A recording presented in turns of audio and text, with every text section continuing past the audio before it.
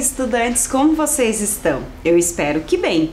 Hoje nós vamos fazer uma viagem é, para um país muito rico em belezas naturais e culturais também. Então, eu sou a professora Joelma e hoje a, o tema da nossa aula é Relações Diplomáticas entre Brasil e Chile. E como vocês sabem, a nossa cidade faz parte do rol das cidades educadoras e toda cidade educadora tem uma personalidade própria, integrada no país em que vive e integrada então no mundo todo, já que nós fazemos parte de um mundo globalizado. E o tema da nossa aula, além de falar das relações diplomáticas entre esses dois países, também vai mostrar fatos que muitas vezes acontecem aqui ou em outros lugares que vão afetar ou impactar a vida das pessoas em diversas comunidades, cidades ou países. E como um dos objetivos da cidade educadora é a aprendizagem constante, eu convido vocês é, a conhecerem alguns pontos importantes da história chilena que muitas vezes se relaciona com a nossa própria história.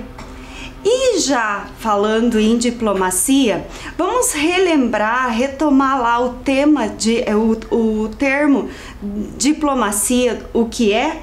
Então vamos lá. Diplomacia é a arte de preservar ou defender os direitos ou interesses do Estado em negociações com governos estrangeiros. Certo? E antes então de iniciarmos é, um, e aprofundarmos esse tema que a gente vai trabalhar hoje, eu convido vocês a pegarem alguns materiais que a gente vai utilizar no final da nossa proposta aqui, que são os materiais para nossa atividade. Então nós vamos precisar lá de três, três materiais: o lápis, uma tesoura e uma pedra de sabão. Esse, essa pedra de sabão, pedaço de sabão, pode ser um pedaço de sabão de lavar roupa, pode ser um pedaço de sabonete, ou pode ser, se vocês quiserem, juntar vários pedaços e formar um. Separem esses materiais. E aproveitando então, eu vou dar um tempo para vocês, vocês guardam, deixam aí separadinho esses materiais que eu acho que vai valer bastante a pena, hein? Guardem esses materiais aí para o final e vamos higienizar as nossas mãos. Eu vou dar um tempo para vocês e eu já retorno, já retorno com o nosso, é, com a nossa proposta de hoje.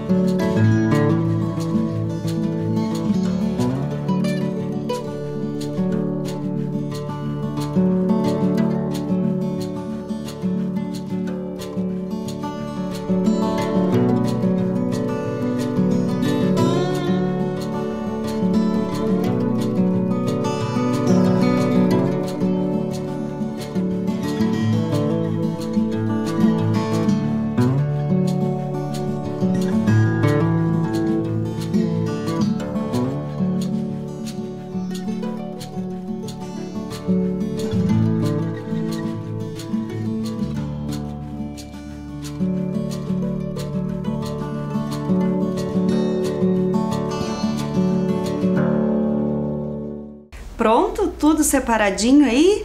Então agora vamos começar com a nossa proposta. E então nós, para falar das relações diplomáticas entre o Brasil e o Chile, nada melhor do que a gente conhecer um pouquinho mais sobre o Chile. E como nós vemos no mapa, ele, nós estamos aqui ó, no mesmo continente. Então aqui tá, nós estamos aqui e o país chileno é essa parte aqui que a gente vai conhecer. Estamos no mesmo continente, a América do Sul. Entre a, o Chile está localizado ao longo da costa oeste da América do Sul, entre o segmento mais alto da Cordilheira dos Andes e o Oceano Pacífico aqui do lado sul. E o Chile, então, ele está dividido em 16 regiões. Olhem lá. Essas regiões que eu coloquei aqui são as 16 regiões. Essa em destaque é a única que recebe o nome de região metropolitana de Santiago, que é onde fica a capital do Chile, Santiago. As demais regiões, as outras 15 regiões no caso, são parecidas com a nossa organização aqui de estados. Então, dentro dessas regiões tem as cidades, os bairros, vilas, tudo certinho. E aqui nós temos um mapa, e nesse mapa ele mostra é, bem certinho onde está cada região dessa, está aqui.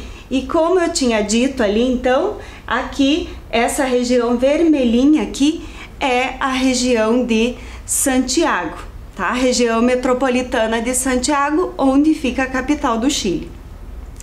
E de acordo com os dados é, divulgados pela Organização das Nações Unidas, a ONU, o Chile apresenta o maior índice de desenvolvimento humano, o IDH, da América do Sul, com uma média de 0,851. E esse número, quando a gente fala em IDH, quanto mais próximo do 1, quer dizer que a taxa de qualidade de vida é mais alta, então mais próximo de 1 é melhor. E se a gente olhar aqui, o Chile está aqui, né? Esses dados são da América do Sul, o Chile está aqui e aqui está o Brasil. Lembrando que essa, essa pesquisa, essa divulgação foi feita no ano de 2019, tá? E um dos é, principais responsáveis por esse fato é a força econômica do país, que apresenta uma economia bastante diversificada nas áreas da agropecuária, na indústria, que também é bem forte, nos principais segmentos ali: alimentício, produção de vinho, têxtil, metalúrgico, siderúrgico, mecânico, maquinário, cimento, madeiras e derivados. E também tem a mineração, pois o solo chileno ele é extremamente rico, rico em recursos minerais com destaque aí para a reserva de cobre. Então, o país é um dos maiores produtores do mundo. E um fato que marcou a mineração chilena é, aconteceu lá em 2010. É, foi o desmoronamento de uma ilha de cobre no norte do Chile, em São José. E 33 trabalhadores então ficaram presos a uma distância de quase 700 metros da superfície. Pense na, o quão longe eles estavam. E aí foi necessário fazer um duto de 66 centímetros de diâmetro para o resgate desses é, trabalhadores que durou aí é, longos 69 dias acompanhados pelo mundo todo, porque todo mundo estava acompanhando para saber se esses trabalhadores iriam sair com vida, é, se eles conseguiriam ser resgatados. E ao, ao final desses 69 dias, os 33 trabalhadores foram resgatados com vida. Então, uma história feliz aí no final. E o Chile, ele é definido como um país tricontinental. Uhum.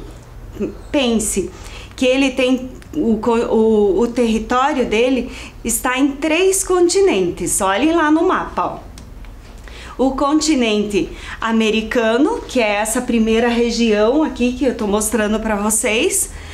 O Antártico, opa, aqui o Antártico e ali a Oceania. Então, tricontinental porque ele tem território nos três continentes, certo? E só para esclarecer para vocês, quando a gente fala é, Antártica ou Antártida, vocês sabem qual é o correto? Vou explicar para vocês.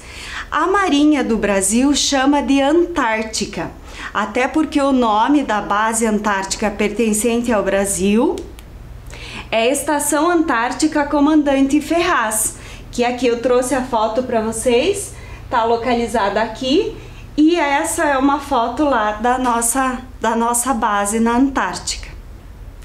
E no passado era mais comum usar Antártida, porque é como está escrito em documentos oficiais, como no próprio tratado que previu a ocupação do continente gelado.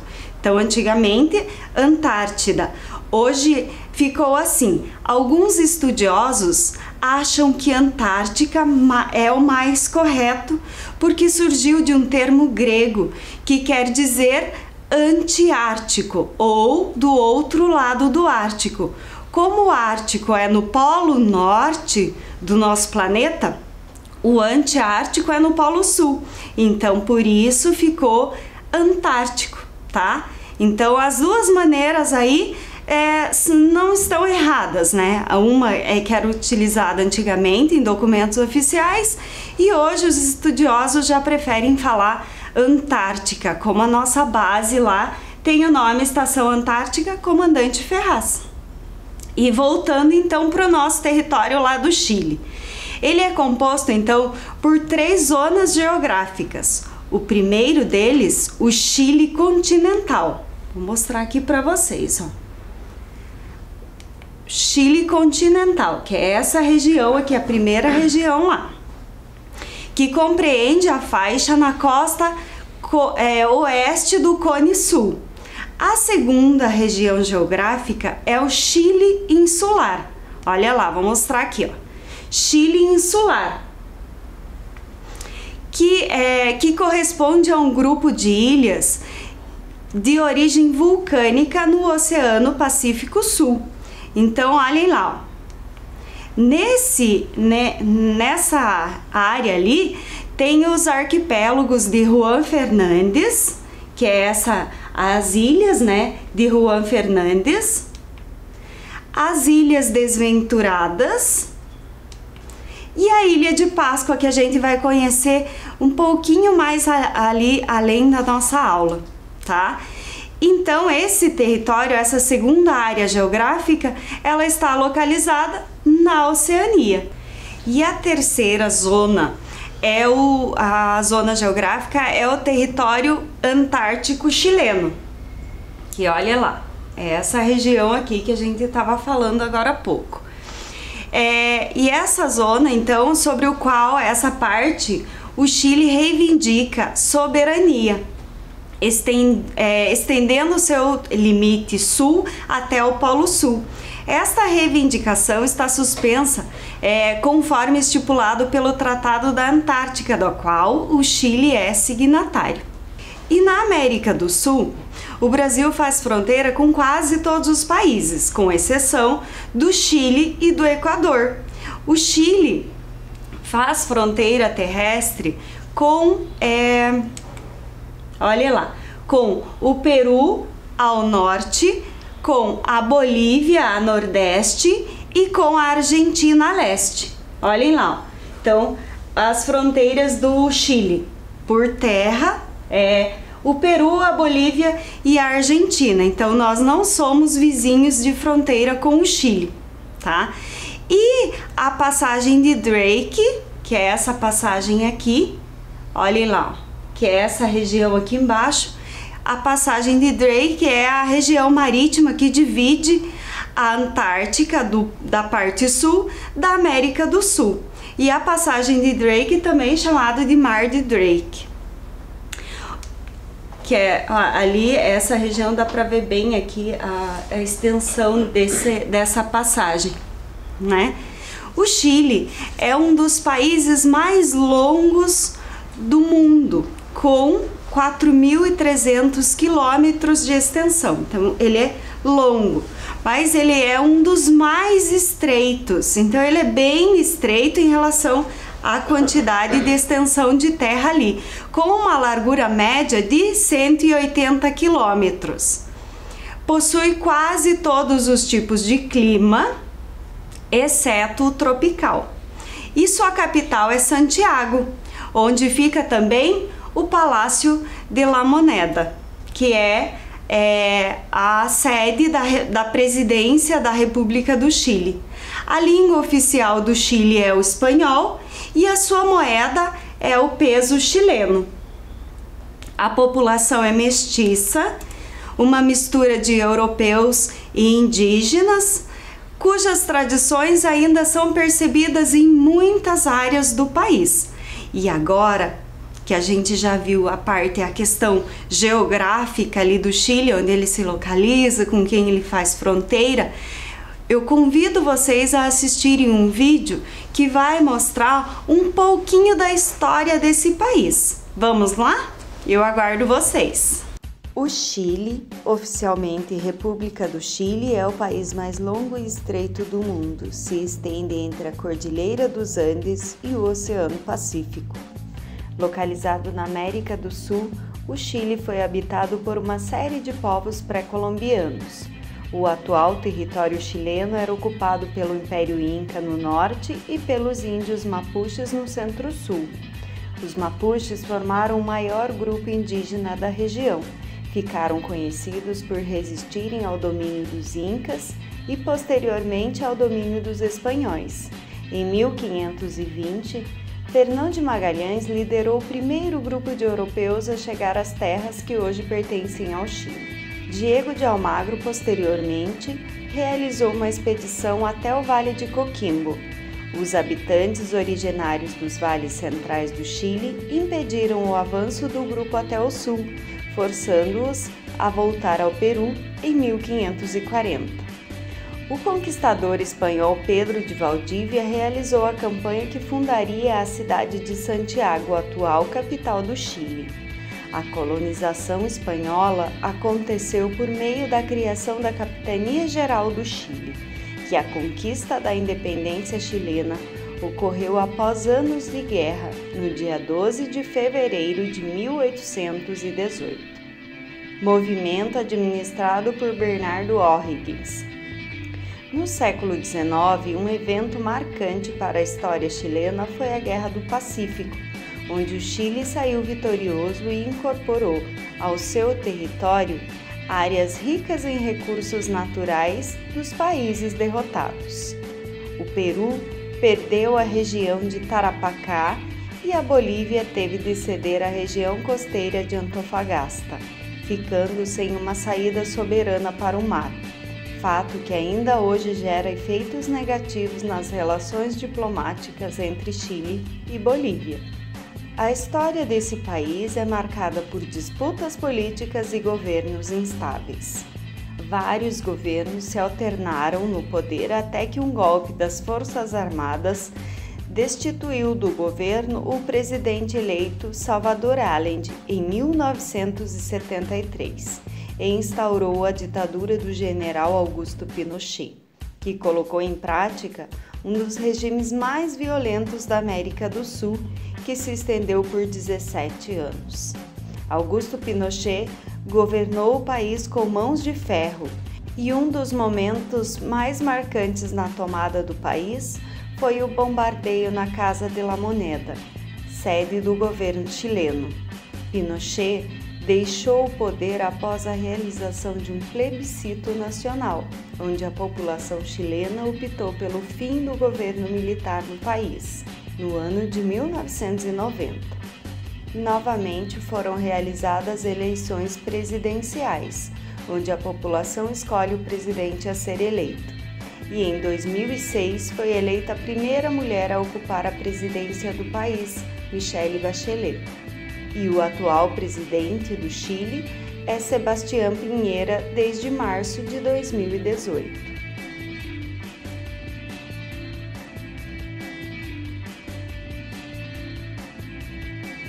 Agora que nós já conhecemos um pouquinho de, das regiões do Chile, um pouquinho do território, um pouquinho da história, vamos então falar das relações diplomáticas entre o nosso Brasil e o Chile. Vamos lá? É, o Brasil e o Chile estabeleceram relações diplomáticas a partir do ano de 1836. E em 1838 foi assinado o primeiro acordo entre os dois países, o Tratado de Amizade, Comércio e Navegação. É, e o primeiro representante do Chile credenciado em 1865 junto ao Império do Brasil, que na época o Brasil ainda era império, foi o político, diplomata e intelectual chileno, que é esse que vocês estão vendo na tela, o José Vitorino Lastarria. E posteriormente, em 1922, os dois países elevaram suas legações no Rio de Janeiro e em Santiago, a categoria de embaixadas. Então, a partir desse momento, é, foram criadas as embaixadas. Então, nesta época aqui, o Rio de Janeiro, porque era a capital do nosso país, e lá em Santiago, capital do Chile, certo? E em 1977, foi inaugurada a nova sede da Embaixada do Chile em Brasília, por ocasião da mudança da capital brasileira do Rio de Janeiro para Brasília no ano de 1960. Então, a capital era no Rio e foi transferida no ano de 1960 para a Brasília, certo?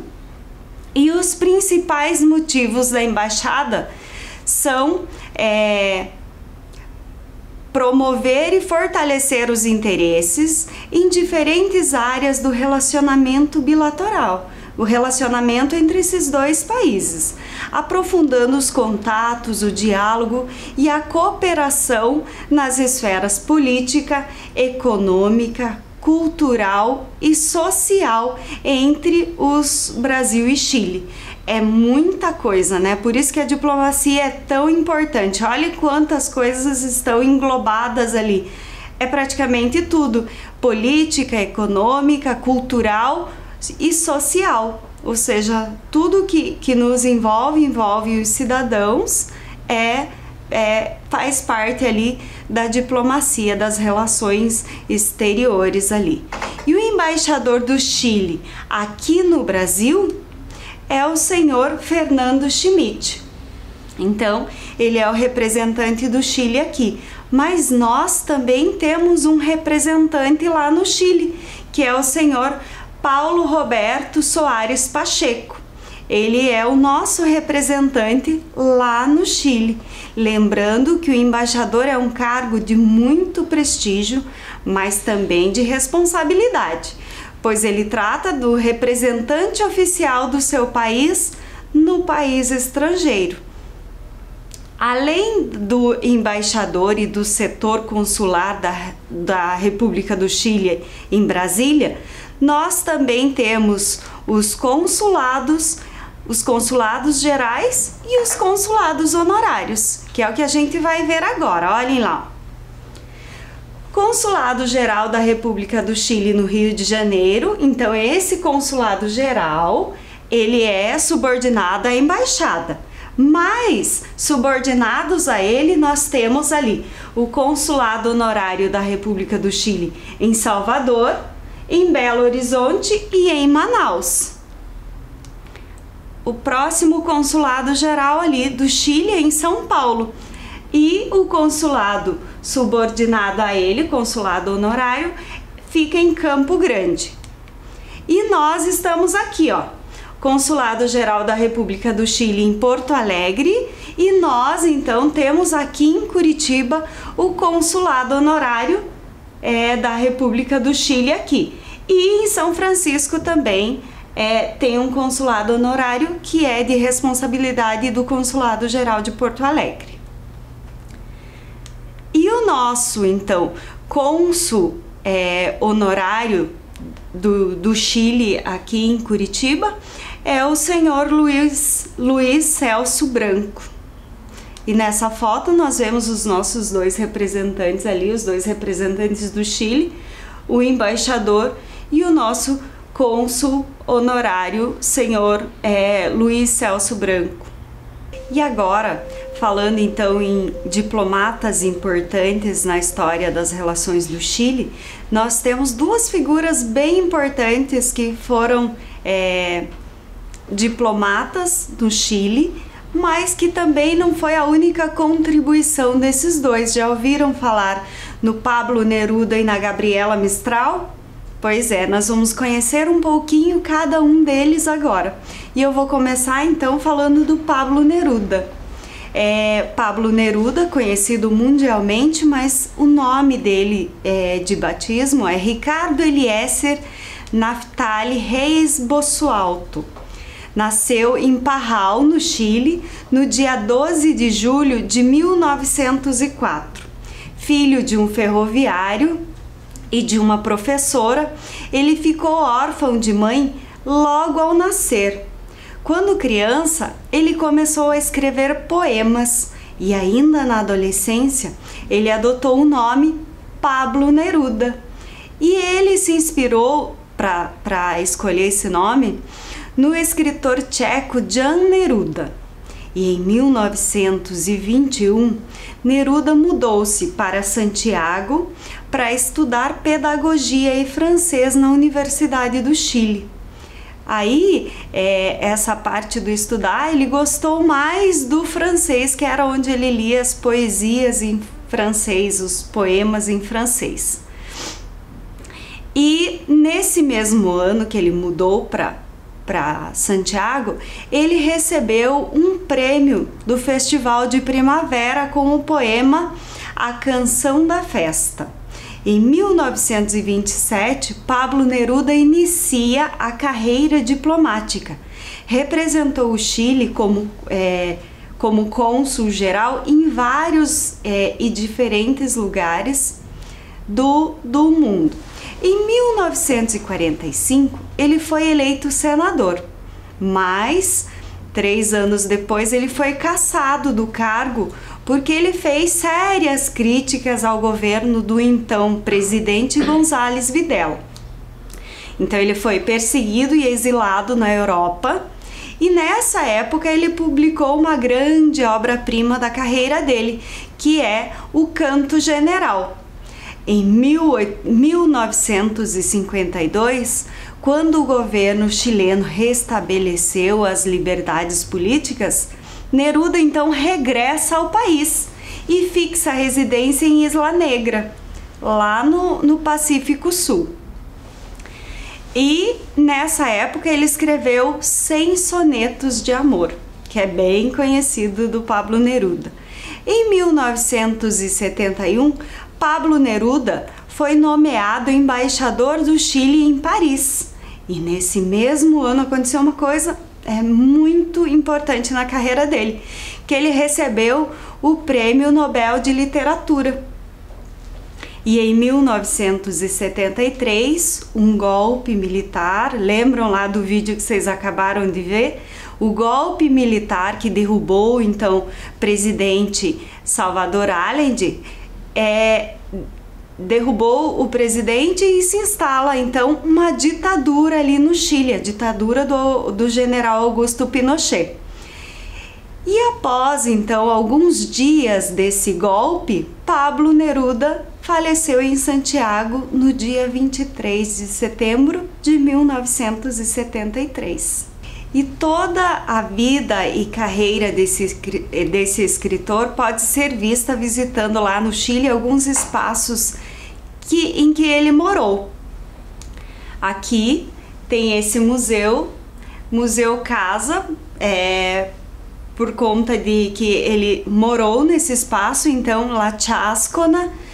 Pablo Neruda construiu é, em Santiago em 1953. Dizem que, que ele construiu para um amor secreto dele na época e em sua homenagem ele a batizou então de La Chascona, que é, faz referência aos cabelos é, cabelos abundantes, cabelos, cabelos ruivos abundantes dela. E o próximo é esse museu, casa também, porque também ele morou lá, de Isla Negra. E esse museu, localizado em El Quisco, o lugar era originalmente chamado de Las Gaivotas, em que o poeta a rebatizou de Isla Negra pela cor de suas pedras e talvez porque ali ele pudesse é, se concentrar, se isolar para escrever. E esse Museu La Sebastiana fica na região de Valparaíso. É, é, esse museu foi saqueado durante o golpe militar de 1973, mas foi restaurado em, em 91, 1991. E graças ao apoio da Telefônica da Espanha, uma contribuição muito importante que também possibilitou a compra da parte do lado dela, né, da casa, que então tudo virou ali um museu do Pablo Neruda. E agora que a gente já conheceu um pouquinho ali do Pablo Neruda, a história dele, agora eu convido vocês então para conhecer um pouquinho sobre a Gabriela Mistral. E a Gabriela Mistral, ela nasceu num ano muito importante aqui no, no Brasil, o ano da proclamação da República. Alguém lembra que, que ano foi? Foi quem acertou então quem disse que foi em 1889. Foi o ano em que a Gabriela Mistral nasceu. E ela tem uma carreira aí de cheia de funções importantes. Foi educadora, poetisa e diplomata. E agora então eu vou mostrar um vídeo para vocês e a gente já volta para conversar mais. Olá! Hoje vamos falar de uma história que começou no dia 7 de abril de 1889, data em que nasceu na cidade de Vicunha, no norte do Chile, Gabriela Mistral, pseudônimo literário de Lucila de Maria do Perpétuo Socorro Godoy Alcaiga.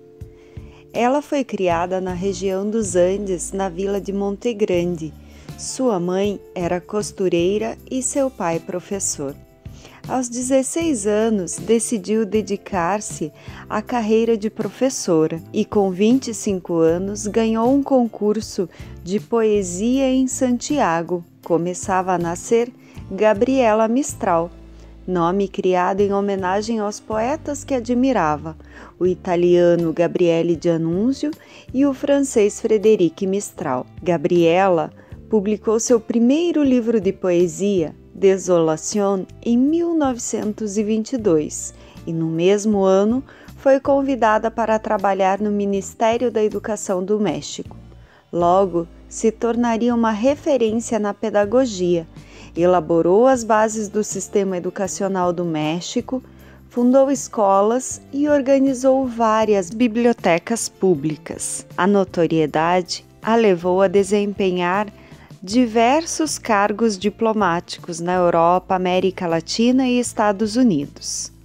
Iniciou sua carreira consular em 1932, foi nomeada consuleza do Chile e representou seu país em Nápoles, Madrid, Lisboa e no Rio de Janeiro.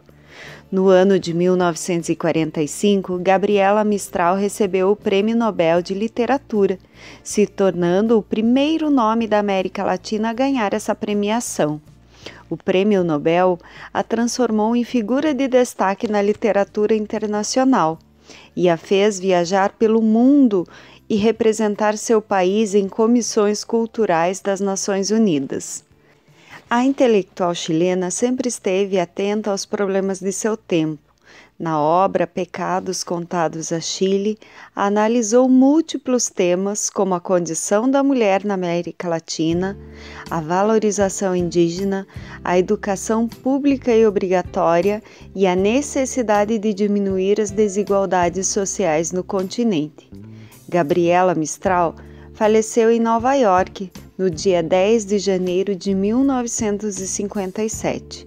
Em homenagem a ela, diversos espaços públicos possuem seu nome, como museus, bibliotecas, ruas, escolas em diversos países latino-americanos, inclusive aqui no Brasil.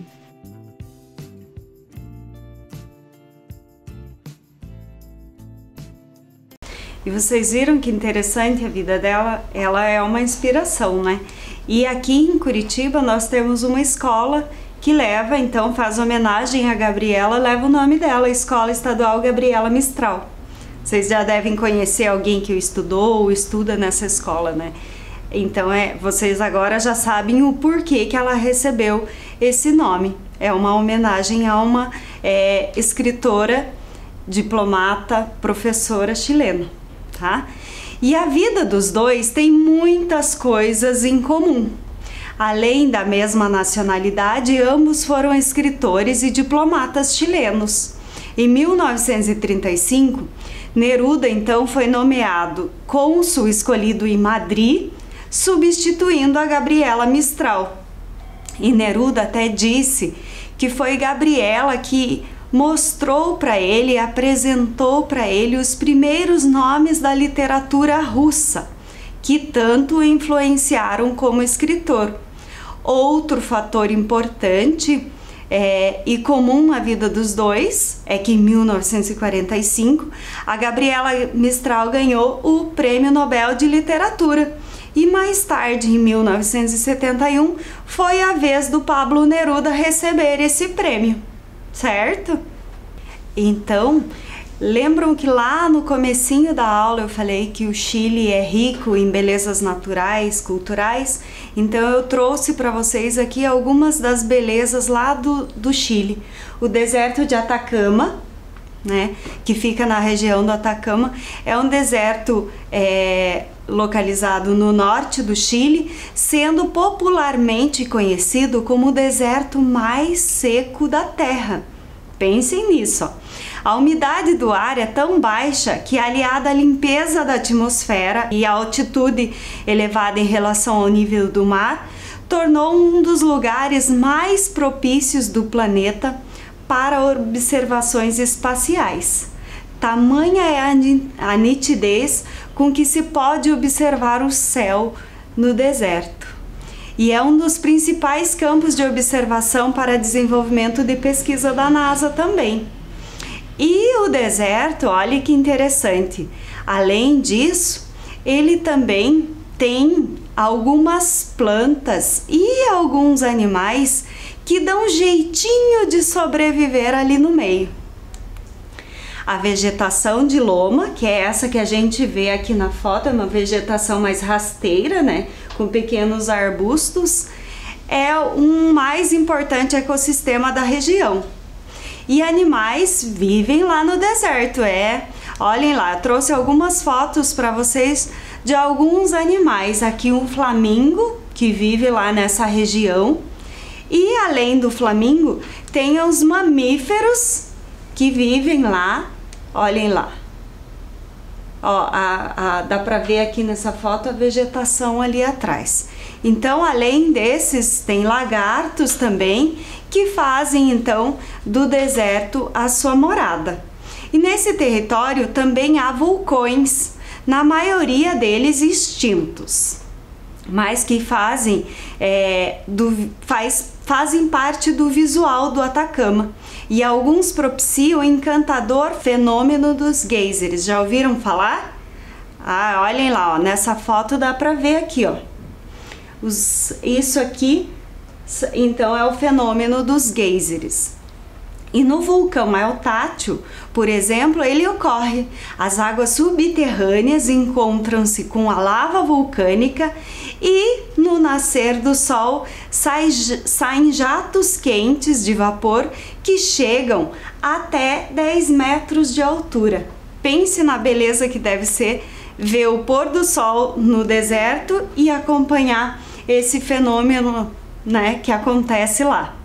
E o Chile é tão rico em belezas naturais e culturais que em cada lugar que a gente vai lá tem uma novidade, seja histórica, seja para a gente conhecer é, o meio ambiente. E além dos encantos do deserto, eu trouxe para vocês um vídeo sobre a Ilha de Páscoa. E a gente já volta. Espero que vocês prestem atenção em cada detalhe. Hoje vamos conhecer a Ilha de Páscoa. Seu nome original é Rapa Nui. Localizada na região de Valparaíso, no Chile, sua capital é Rangaroa. A ilha fica no meio do oceano e justamente por isso é chamado de umbigo do mundo e é considerada o território habitado mais isolado do mundo. A Ilha de Páscoa recebeu esse nome após o explorador holandês Jacob Hoggeveen desembarcar no local após dias de viagem num domingo de Páscoa no ano de 1722. Segundo o estudioso Jared Diamond, a ilha teria se originado a partir de três erupções há milhões de anos. Desde então, os vulcões permanecem adormecidos. O mais antigo deles é o Poik, que formou o canto sul da ilha da segunda erupção surgiu Hanukal, no sudoeste, e por último, a erupção de Terevaca, localizado no canto norte da ilha. A ilha vulcânica em formato triangular é o local onde desenvolveu-se uma civilização polinésia conhecida como Rapa Nui.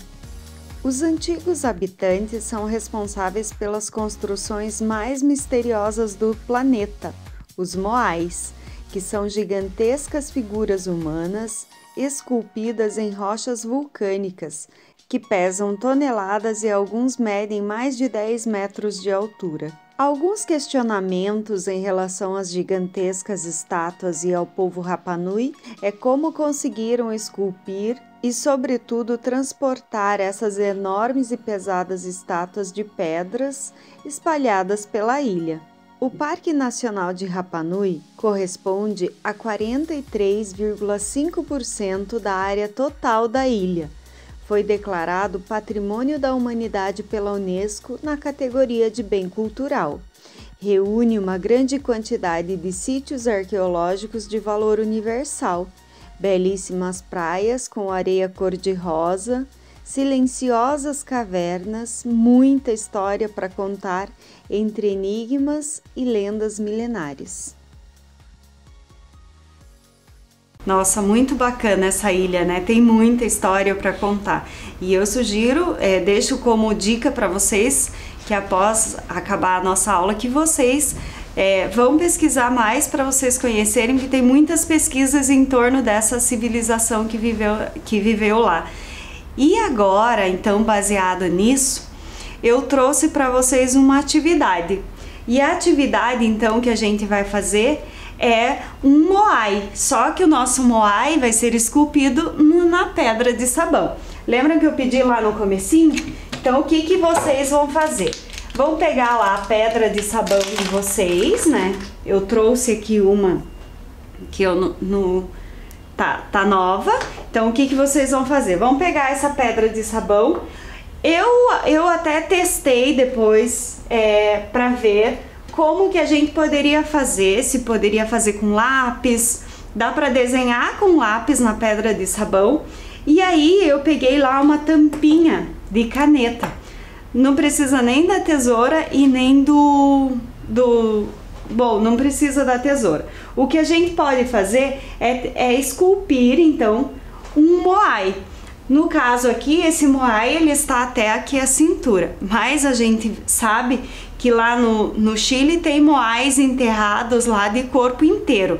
Então, o que vocês podem fazer é esculpir a pedra de sabão de vocês, eu vou dizer para vocês, comecem a fazer que vocês vão gostar, porque é muito bacana a gente começar a esculpir. Eu comecei o meu aqui e eu espero que vocês gostem e se conseguirem terminar e tudo, me mandem uma foto que eu vou ficar muito feliz de ver, tá? Então eu vou deixar essa sugestão de atividade. É, infelizmente o nosso tempo acabou. Mas eu espero que vocês tenham é, se encantado com o Chile, como eu sou encantada, hum, tá? E até a nossa próxima é, proposta.